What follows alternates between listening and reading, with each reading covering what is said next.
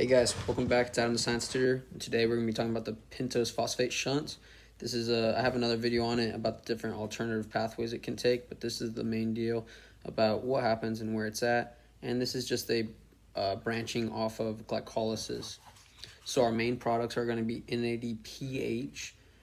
Um, this is going to be important for uh, biosynthesis of lipid molecules, protein molecules, and it's just an energy source. So it's another way we could break this for indirect energy like we do NADH2 or um, other indirect energy sources. So that's one of the main products. The other main product is going to be ribose 5-phosphate, which we can use for um, synthesis of nucleotides. So ribose 5-phosphate, and that's probably our main product of the bunch. But um, NAD, NADPH is another one. So that's what we get. And this is off glycolysis, as I mentioned before, and this is all occurring in the cytosol.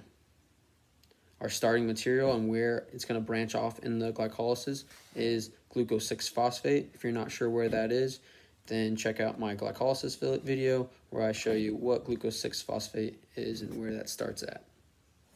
trying to figure out where to put a face cam as usual. It happens in the cytosol of the mitochondria or of the cell, pardon, in the cytosol of the cell. So, cool. So let's begin. All right, so we need glucose 6-phosphate, and that's our beginning of our shunt, and it's off glycolysis, so we are no longer going through glycolysis, and we're going to create uh, 6, and this one's a big mouthful, but it's 6-phospho glu glu glutolactone. So 6-phosphoglutamate, which is um, terribly hard to say. And our enzyme that's going to help us do this is going to be our G6-phosphate um, dehydrogenase. And what we know about dehydrogenases, which I talked to before, is that they're an indirect energy source or it takes energy, but this is going to be our indirect energy source. And I told you guys we're going to get NADPH, so that'll be probably the indirect energy source. So we have NADP to NADPH. So that is going to be our first indirect form of energy. And this is one of the more important enzymes because it is a key regulatory enzyme. And it is important because if we want to stop this or if we don't want to, or if we want to start this, uh, the pyruvate shunt or phospho pentose phosphate shunts, then we're going to need some inhibitors to stop it or some um, activators to start it. So I made a mistake here. It's negative inhibition. I'm going to go back and fix it, but negative inhibition is NADPH and ribose 5-phosphate because those are our products. If we have our products, we don't need this to occur anymore. So that'll be a negative or inhibitor of our key regulatory enzyme. Our activator will be NADP+. plus. So if we have NADP, then we could use NADP to make NADPH. So that is one of the uh, activator. So cool. Now we have 6-phosphoglutamate, and we're going to have a simple um, exchange here, uh, and it's just done by lactase. Lactase is going to be the enzyme, and lactase doesn't have any in, uh, doesn't have any energy products, but it's going to take water and make a hydrogen molecule. So we're going to take H2O and make a hydrogen molecule. And it's no big deal. It's not really much, so it doesn't uh, require too much. And the product that we're going to make is 6-phospho uh. So 6-phospho, we can do it in black, 6-phosphogluconate. Cool. So, and we could also kind of summarize that for 6PG, but 6-phosphogluconate. So that's cool. We're going to go over here, and this is going to be another form of energy or indirect energy. So we're going to get another NADPH and NAD+. plus.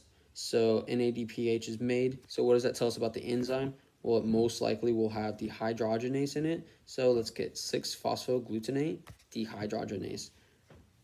So 6-phosphogluconate dehydrogenase. And this is our second indirect energy source. And we're also going to have one more molecule coming off of it, which is very important. And it's extremely important because if without this, we cannot make our pentose, which is the point of this. It's our main product. So we're going to have CO2. That carbon is going to be used to make our pentose. So we're going to lose a carbon here. And that carbon is going to be picked up to make ribosyl 5-phosphate, which we're not at right now. Second ingredient direct. Used to make next product. Okay.